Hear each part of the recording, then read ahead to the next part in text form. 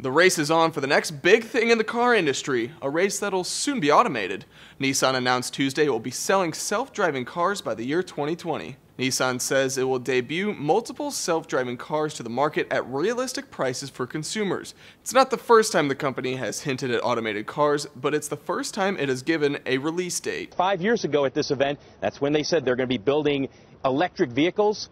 They've done that. We'll see if they can come up with autonomous drive vehicles as well by 2020. The Japanese automaker is reportedly working with several universities around the world to develop the autonomous, safe technology. A writer for the Wall Street Journal says many companies are trying to perfect these self-driving vehicles to reduce human errors that cause car accidents. Could 2020 be the year of the robot car? Other car manufacturers are also targeting that year as a projected release date. General Motors has also listed 2020 as its year for launching nearly full self-driving cars. BMW also says it wants to roll out automated cars in 2020.